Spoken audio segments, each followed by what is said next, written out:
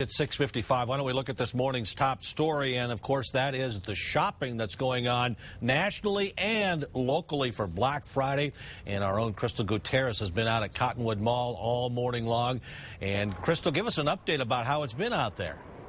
Well, Mike, it's been pretty chaotic. Shoppers are now on their th third, fourth, or maybe even fifth stop this morning. Some traveling clear across town just to get their hands on some pretty good deals.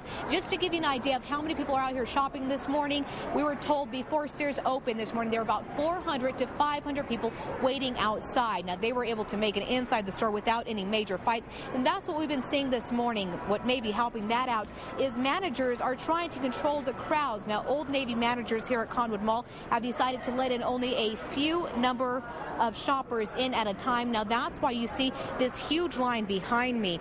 It's been growing for the last two hours and shoppers, they really don't seem to mind it at all. Again, they visited many stores. This may be their second, third, fourth stop of the morning. However, they continue to hit up stores this morning. Now it's been pretty calm, at least the stores we visited. However, we heard Walmart and Toys R Us was a little crazy out there this morning. One shopper we spoke with said he saw a lot of car pushing going on. Back to you.